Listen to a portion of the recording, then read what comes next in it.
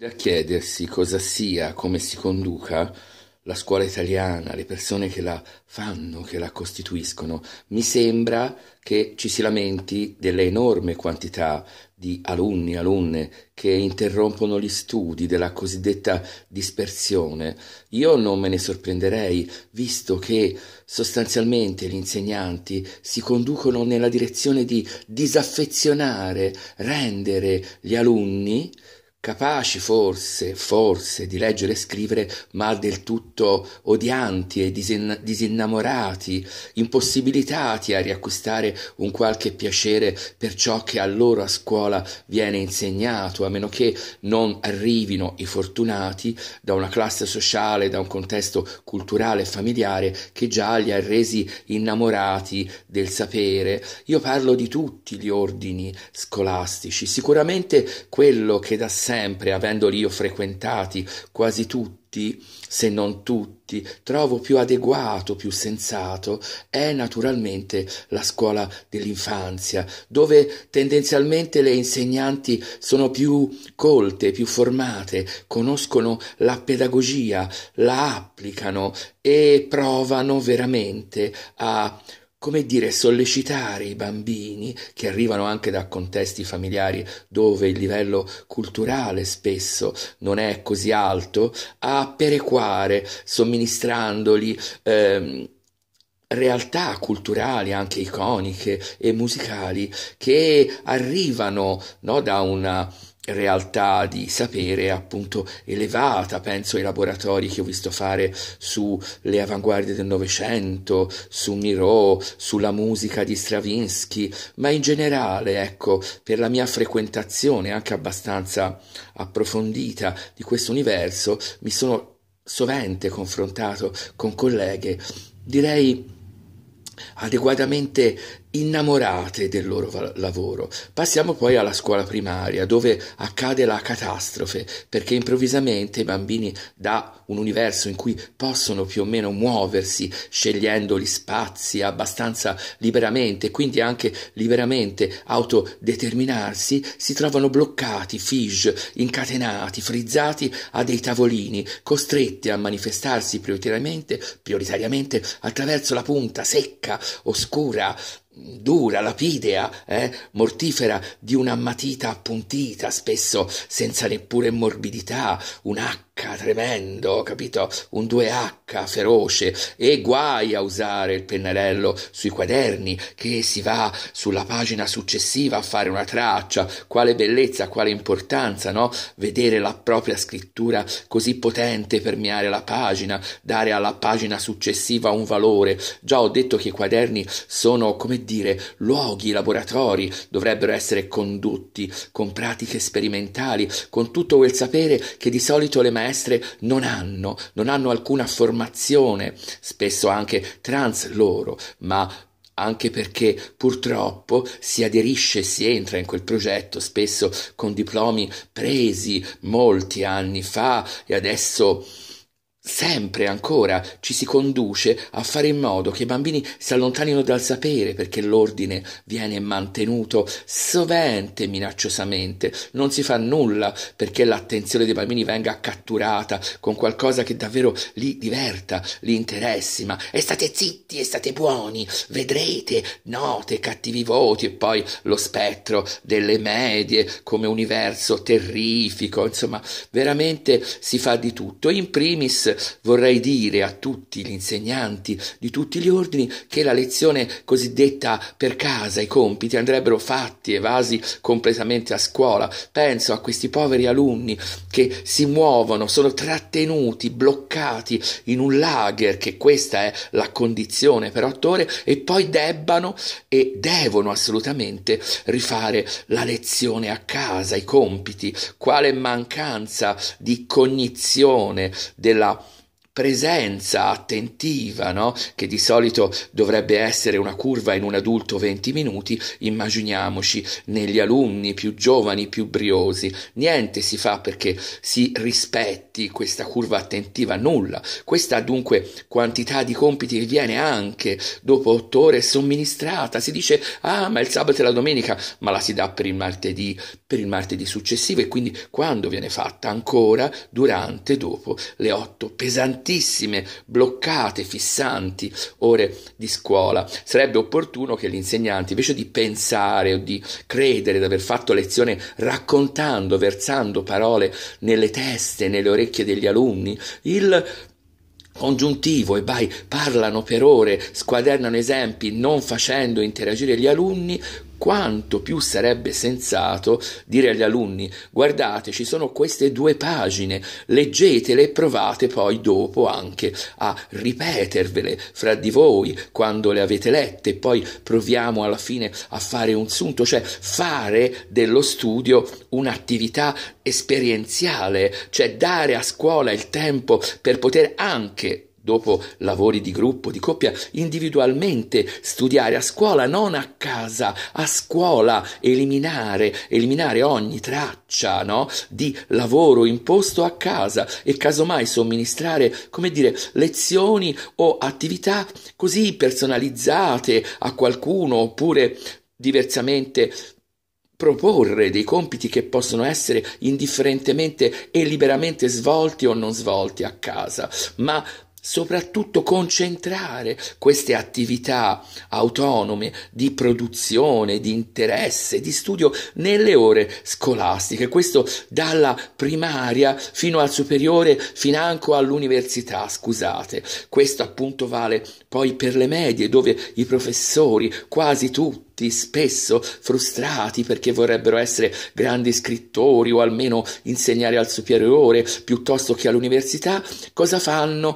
Si manifestano in valanghe, in profluvi di due, di tre, di quattro. A cosa servono, io dico? A mantenere attivo il mercato nero della vendita delle cosiddette ripetizioni, cioè quelle lezioni private a casa, perché questi due tre non fanno che dis- disamorare, disaffezionare gli alunni, le alunne da ogni possibile relazione, anche di interesse, di passione con il sapere. Non servono ad altro che allontanare, ma si sa, come ho detto, questa è una scuola che vuole pochi, pochi che possano pensare, essere critici, che abbiano un amore per la lettura. Non si vuole assolutamente avere una quantità di umani pensanti, li si preferisce ignoranti, li si preferisce calciofili, li si preferisce distantissimi da ogni possibilità d'acquisizione di una passione per una delle qualsiasi materie somministrate a scuola, si è anche qui pedanti, sempre producentisi in lezioni frontali, mai che si faccia fare attività di studio a scuola e poi sempre pronti a individuare questo ovunque l'errore, qui hai sbagliato, ma valutiamo sempre invece l'impegno anche minimo che c'è stato, quanto sarebbe più importante che gli alunni che anche poco studiano, che poi a un certo punto interrompono, venissero a scuola anche poco studianti, ma continuando a esporsi, a essere esposti al sapere, alla scuola, a quelle pratiche di come dire, spiegazione anche e costruzione autonoma del sapere, della cultura. Questo da zero almeno a 25, 26 anni, perché meglio un alunno che, o un'alunna che studino poco, distratti, ma che comunque stiano nel contesto della scuola, un contesto che dovrebbe essere, come dire, innamorante, votato alla esposizione del sapere quante insegnanti anche di lingue, ah ma qui non sa queste l'inglese, il francese e vessano e mostrano di non amare gli alunni appunto con voti veramente inverecondi. Ma scusa se io fossi un insegnante di lingua non so cosa vorrei che gli alunni miei si innamorassero della lingua della cultura di cui io sono stato amante e innamorato e farei di tutto piuttosto che cassare il loro anche minimo desiderio con ah non hai studiato un due ti prendi e così poi vedrai, ma no, raccontagli qualche autore di quella lettura interessante, se hai studiato quella lingua avrai avuto una passione per quella lingua, per quella letteratura, che non può essere la passione che vedrai fiorire negli altri, perché magari, però prova, prova, anche se vedi l'altro distante, continua a somministrare la tua passione per quella materia. E questo anche ad alunni che non hanno voglia, non desiderano, desiderano studiare o fanno fatica e dagli almeno la possibilità di continuare a esporsi a quella tua passione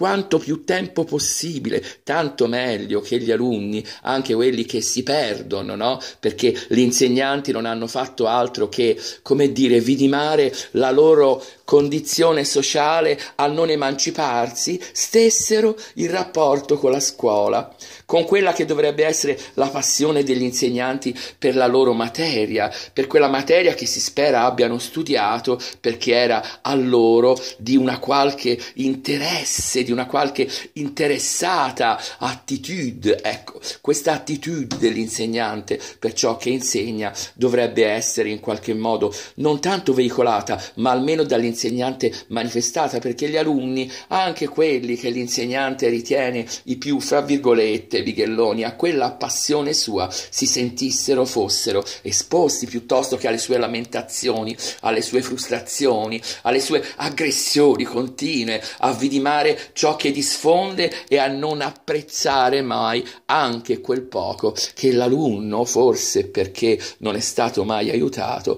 non riesce a testimoniare. E così pure pure al superiore, farei studiare in classe, poca spiegazione, ma costruzione diffusa, spiegazione condivisa, costruita all'interno dell'aula, perché l'aula non fosse solo terreno di frontalità dell'insegnante che pensa di aver fatto il suo lavoro una volta raccontato l'argomento da affrontare, che quello lo sa fare anche mia madre che ha fatto la quarta elementare e ha 80 anni, credo farebbe benissimo qualsiasi qualsiasi tipo di attività di questo tipo, di raccontare, forse sarebbe anche più divertente perché ha una sua verve comica, ironica, che molti insegnanti spesso in nessun modo manifestano o hanno, solo pronti a dire qui non torna, ma questo lo devi rifare, ma t'avevo detto ma se quando si confrontassero con loro stessi e dovessero rendersi conto che spesso gli alunni non ci stanno, scappano, perché quello che gli insegnanti fanno è inseguirli, perseguitarli, perché siano obbligati ad apprendere, piuttosto che l'insegnante manifestare il piacere suo medesimo per quell'argomento, tutto questo sarebbe da parte mia narrazione inutile, perché saremmo in un universo verso di grande sensatezza, sensatezza che ora non mi sembra rilevabile né in alcun modo apprezzabile. E lo stesso dicasi per le università che ci si lamenta che ci sono pochi laureati e si fanno selezioni d'ingresso per facoltà dove ne entrano pochissimi, ma toglietele, ma è per i 50 euro per l'esame d'ingresso, ma allora chiedete i 50 euro, ma dismettete la pratica d'ingresso, ma mancano, mancano, mancano, mancano e poi non si fa niente perché questo numero aumenti. E si vuole tutti di ogni alunno che si faccia eccezionale, ma quello che dovrebbe certificare una laurea è l'essere stato esposto all'interesse dell'insegnante per quello che l'insegnante ha insegnato per un tot numero di anni, poi dovrebbero essere dopo, se quello vogliamo, gli esami, le abilitazioni a rendere possibile, accessibile l'ingresso in una professione. So che in Inghilterra, interessanti, sempre in inglesi, d'altra parte, crudeli hanno comandato il mondo, si può poteva aderire, accedere a un'abilitazione con qualsiasi laurea. Una mia amica ha fatto con una laurea in ita- italiana in mm, legge ai tempi l'esame abilitativo all'insegnamento della lingua inglese in Inghilterra. Ti rendi conto che genialità? Perché se io ho una competenza non deve essere interessante sapere come l'abbia conseguita, ma che l'abbia e quindi avere o non avere la laurea. Cioè, è rilevante, è rilevante invece che tutti siano stati esposti e presumibilmente a spese dello Stato, possibilmente, a una grande quantità di appassionati al sapere e che questo sapere in qualche modo sia stato loro, come dire, raccontato, avvicinato attraverso render loro stessi attori, protagonisti di quella sapienziale passione pratica dell'insegnante che li ha in qualche modo intercettati nel loro percorso di studi, alunne e alunni, ecco. E così saper che tutti hanno attraversato una certa itinerante, itinerabile, reiterabile percorso di relazione che ha voluto, come dire, farli innamorati di una materia che hanno scelto elettiva d'elezione, ma se si inizia alle elementari, a bambini che arrivano appunto da contesti di scarsa attenzione per il il sapere a redarguirli, castrarli, farne purtroppo perché, come dire, ci sono queste classi differenti, ahimè purtroppo, addirittura portatori di malattie perché incapaci di sentire una H o una doppia, ma valorizziamo la loro passione per raccontarsi, per narrarsi, che è sempre presente nei bambini, per raccontarsi graficamente, per disegnarsi, per cantarsi, per farsi numeri anche attraverso i gesti, il corpo, la coroeutica, la danza, ecco, questo valorizziamo e diamogli modo di avere anche loro intorno un'infinità di stimolazioni, quelle che hanno avuto i più fortunati loro, compagni e compagne che arrivano da famiglie di persone colte, erudite, facciamoli ascoltare Schoenberg, facciamoli ballare Schoenberg, facciamoli vedere Berio, facciamoli ascoltare Miro, Miro, la musica delle immagini, ma anche proponiamoli gli estremi esiti del femminismo, semplificandoli, diamo a ognuno l'occasione di essere esposto a quello a cui può essere esposto un bambino fortunato, nato in una classe colta, alta. Il primo educatore è l'ambiente, certo, ma anche l'ambiente, soprattutto umano, al quale è esposto e quindi che senso hanno insegnanti umilianti, castranti, che richiedono, cercano l'attenzione attraverso attraverso la minaccia, la minaccia. Sembra che la scuola tutta sempre si manifesti attraverso pratiche di minaccia e di sanzione dell'errore senza nessuna volontà di riconoscere l'impegno che arriva, ma se l'impegno non dovesse arrivare, confrontatevi con la vostra mancanza di senso quali insegnanti. Ci sono classi dove si inventano patologie su errori ortografici per almeno due terzi della classe. Io fossi l'insegnante di quella classe, mi guarderei allo specchio e mi interrogherei sulle mie capacità di insegnamento, certo. Questo vale per ogni ordine di scuola dove si e ci si adopera per allontanare gli alunni da ogni possibile crescita, generazione di passione e di interesse per lo studio. Recedete dai compiti a casa, fate della scuola luogo dove gli alunni inventano, conoscono il loro modo di conoscere e di studiare date a ognuno la possibilità di rimanere il più tempo possibile, io farei di questa un obbligo, quello della persistenza nella esposizione alla cultura, se cultura in alcuni casi sembra proprio non sia, comunque sia meglio stare a scuola che fuori, quindi Fate sì che anche coloro che sembra non siano interessati siano esposti fino all'intero percorso universitario, alla cultura, al sapere, meglio se, soprattutto fondamentale non meglio, sostenuti, portati avanti da un appassionato, un amante di quello stesso sapere. Quindi la scuola italiana al momento è terribile, perché la situazione è proprio all'opposto,